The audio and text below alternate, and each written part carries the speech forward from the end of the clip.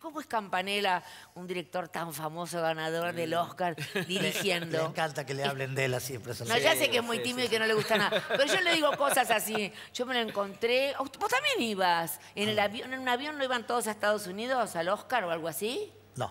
No, yo me encontré, yo me tiré en tus brazos, no sé con quién ibas. Yo te dije, Susana, Campanella, te lo acabo pido, de ver. por favor. No, Sí, Beto, pero- no, en el buen sentido.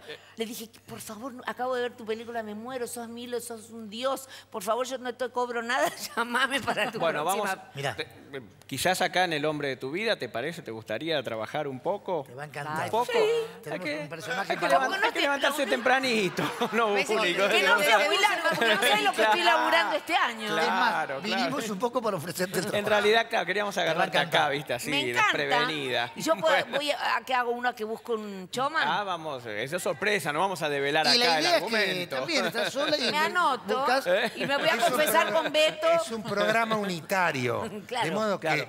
cada, cada capítulo tiene una Empieza y historia. Eh, termina. Sí, son Cada casos distintos. Salvo la historia semana. de estos personajes que dan la continuidad del. Obvio, salvo de- lo- los personajes principales. Agarra Todo viaje, demás son agarra historias viaje. que empiezan y Exacto. Agarra viaje. Agarro Te va a viaje. Encantar, te va a encantar. No sabés Agarro lo que viaje. uy, no sé No te quiero contestar que. Campanella es, es maravilloso como director porque es el, es el fan número uno. Cada vez que haces una escena, Te aplaude. te- ay, te- qué lindo. no, pero te go- lo, goza, Lo goza. Y eso es maravilloso. Hay pocos directores que amen a los actores como los ama Juan. Sí. Pero, Pero- además es un escritor, es un escritor.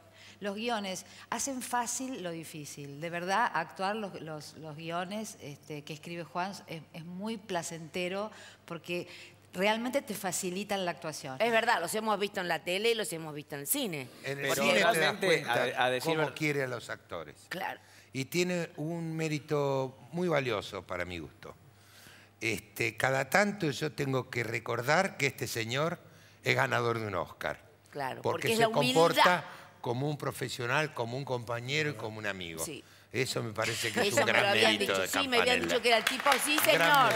Es de una humildad. No, porque no es verdad, porque No, hay que reconocer, porque no pasa mucho no es eso. habitual, no es A mí, habitual. a mí el que me cuenta muchísimo, por supuesto, de vos Ricardo. es Ricardo.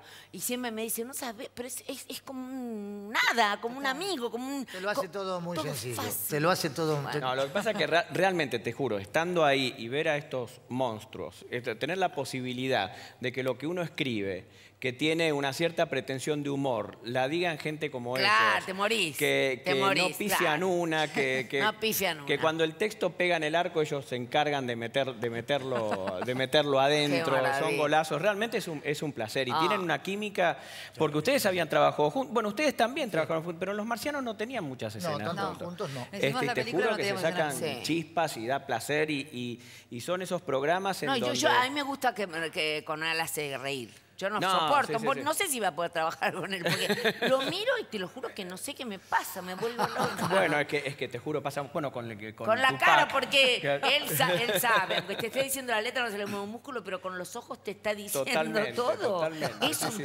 sí. Sí. Yo, para mí es un genio. Yo, yo me- con estos actores, ¿qué, vas- qué van a No, hacer? claro, un no, éxito. realmente y con vos, es un Oscar placer. Winner.